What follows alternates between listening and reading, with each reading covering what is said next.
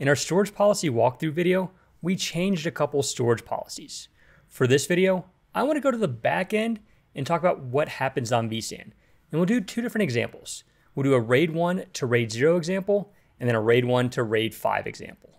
This policy change is really simple because all vSAN has to do is drop one of our data components and then drop one of our witnesses. And then we have a RAID 0 object. And we don't have a choice if that's component 1 or component 2. vSAN makes that determination for us.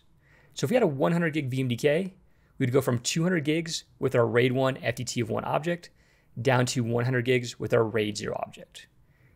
Let's move on to our second example.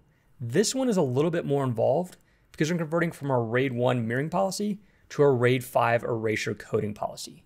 So on the back end, the first thing that vSAN does is creates a brand new object. And so for this example, we're using a VMDK. It creates a brand new RAID 5 VMDK object. You might be thinking, wait a minute, we're gonna have two VMDKs? And that's correct. But vSAN is a UUID based system. We assign UIDs to our object. So let's say our first object, that's FE12, that's its UUID. And actually the UUID is a lot longer than that. I'm just really shortening it down just for this example. And then our RAID 5 VMDK, let's say that's AB23. So now we've got two different VMDK objects with two different UIDs. The next thing we start is a resync. We start copying that data, it's just basically a copy paste operation, from this RAID 1 FTT of 1 object to our RAID 5 FTT of 1 object.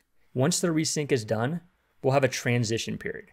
We'll transition from our FE12 VMDK over to our AB23 VMDK, and that'll be seamless on the front end. And so from a storage perspective, with our 100 gig VMDK, with RAID 1 FTT of 1, we're using 200 gigs. And then with our RAID 5 FTT of 1, we're using 133 gigs.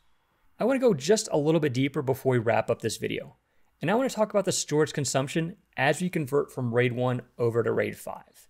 We have our VM using that FE12 VMDK, and that's taking up 200 gigs of storage in the environment. We then have our RAID 5 VMDK, that's our AB23 VMDK. We'll then begin our resync process. We'll start copying our data from our RAID 1 object over to our RAID 5 object. And since we've got both those two objects side by side, we're using additional capacity in the environment. We're using 333 gigs, 200 for our RAID 1 object and 133 gigs for a RAID 5 object.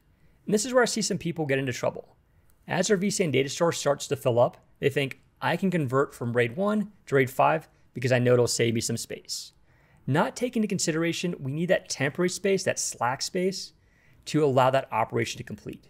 So if you are thinking about converting from RAID 1 to RAID 5, just take a look at how much free space you have and maybe do them one at a time or a couple at a time to get through that entire operation.